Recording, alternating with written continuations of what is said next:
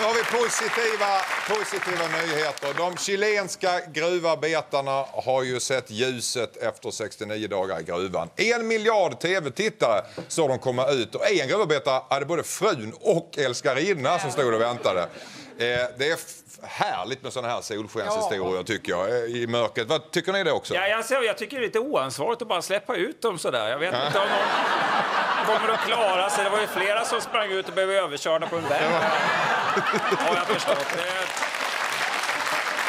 Man undrar lite vad, vad de haft för sig där nere. Va? Ja, vad har de gjort? 33, 33 män, ensamma, Skulle du må va? utan kvinnor, i mörkret. Jag vet. Alltså, jag förstår inte varför de vill komma upp till att börja med. Herregud! Det är ganska Herregud! bra. Det var, Vad säger du Micke?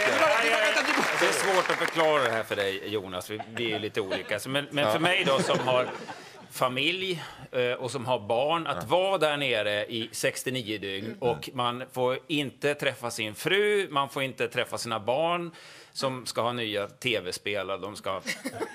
Ja, du har rätt. Vad fan kom de upp för?